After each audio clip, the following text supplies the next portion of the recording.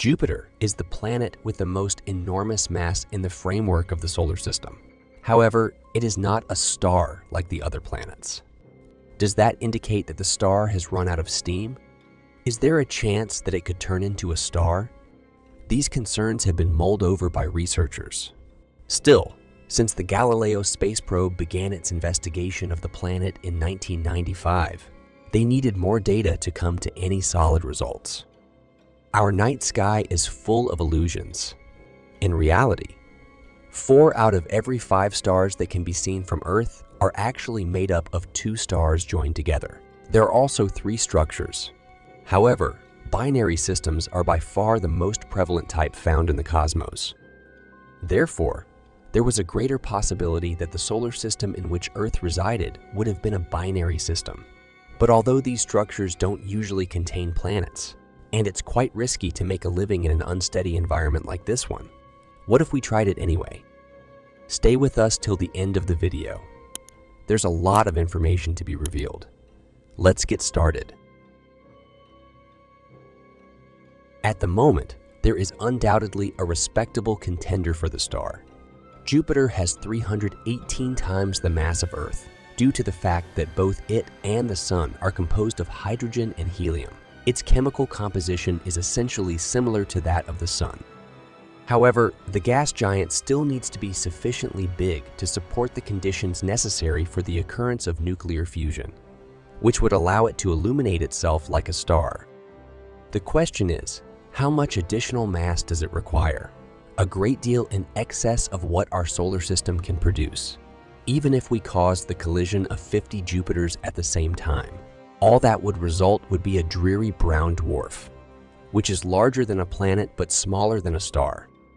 To produce even the most insignificant star, we must cause the equivalent of at least 80 Jupiters to collide with one another. Although there is no known planetary entity that puts on this much, researchers have determined that if the disk of protoplanetary matter from which our solar system formed had been approximately 20 times more immense, Jupiter might have condensed into a red dwarf instead of becoming the largest planet in the solar system as it is. In such a solar system, there would be no extremely large planets. But there might be adequate supplies of raw materials for Earth and the other rocky planets in the neighborhood. On the other hand, if a second star were to emerge, it would almost certainly bring about some terrible outcomes for us. In order to start, we'd have to reassemble the astrophysics textbooks that are already available completely. Ganymede, the largest of Jupiter's significant moons, might be considered a planet in its own right, given its size comparable to Mercury. Other significant moons of Jupiter, including Callisto, Io, and Europa, would also be considered planets. What would the actual cost be if we uprooted our lives and went to this bustling region, where a different solar system would arise beyond the asteroid belt? A standard red dwarf has a brightness that is 300 times lower than that of the Sun. If Jupiter were to be taken over by a red dwarf, the space between Earth and the red dwarf's orbiting universe would be four times greater than the gap between Earth and the Sun.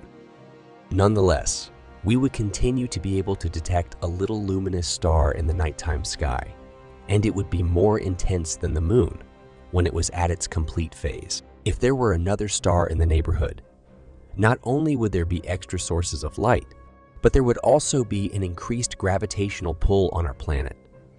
The amount of added warmth that would be transmitted to our planet is unknown. The orbits of Mars and Earth would be affected by the gravitational pull of the red dwarf because they are the star's nearest neighbors.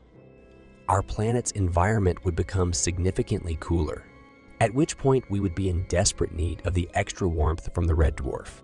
Without a doubt, we'd be in a position to put the issue of climate change in the back of our minds for good.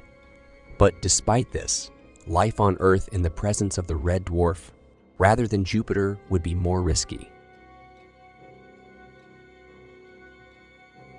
The second star could send the asteroid belt into disarray, which would result in the Earth being bombarded with stones on a regular basis.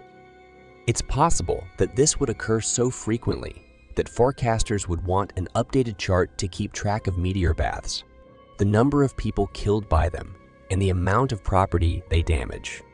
In this instance, we are just talking about comparatively tiny rocks.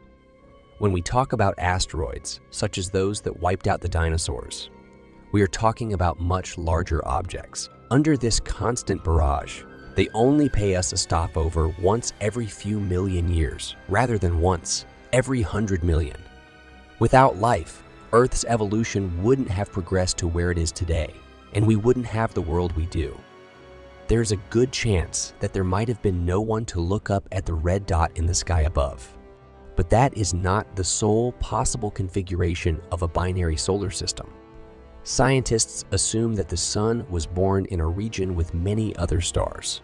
Still, powerful gravitational perturbations quickly exiled our newly formed star from its native region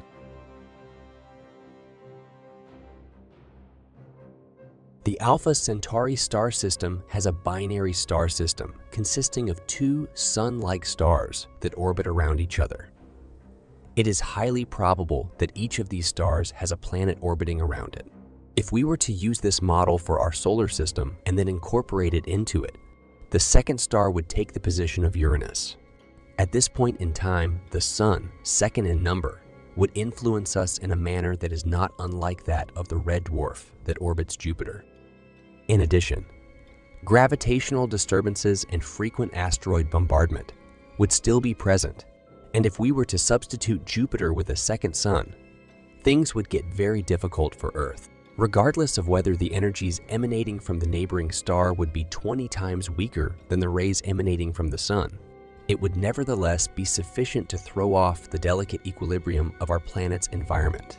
Following the orbital shifts brought forth by the second sun, which would transform Earth into a scorching and searing desert. New Venus would also emerge. However, if the companion star were twice as huge as the Sun, unlike Sirius, then this enormous star would immediately rip Earth out of proximity to the Sun and create an independent planet without even bothering to seek out humanity. It would be risky, given blue giants like Sirius are 20 times more luminous and energetic than the Sun. In an instant, it would transform the environment, terrain, and oceans of Earth into mercury, and it would also deplete the planet's atmosphere. If large gravitational disturbances caused orbits to become warped, it is possible that the second star could eject us into interplanetary space after it had transformed the Earth into an excellent steak and the rest of the Earth into snowmen.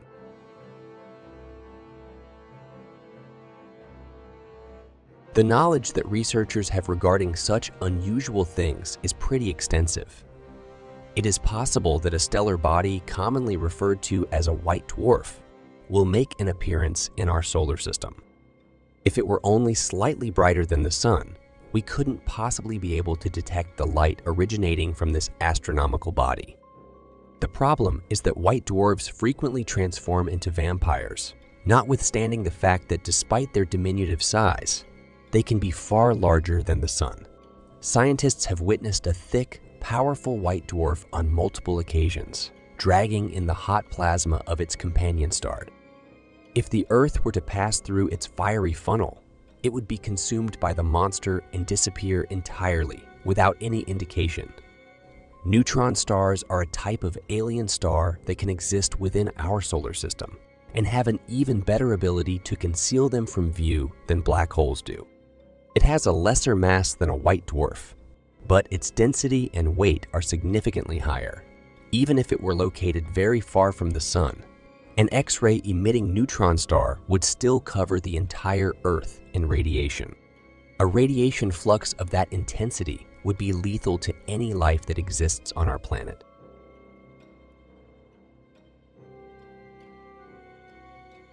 Moving on to the third possible interpretation, a number of binary systems have been observed in our galaxy, including black holes. If Earth were to coexist with this gravitational companion, the planet's structure would deteriorate over time due to the tidal effects. Therefore, it would appear that none of the hypotheses regarding the second star in the universe promises good for the years to come. But is this really the case? because our strategy to securely substitute Jupiter with a star did not work out.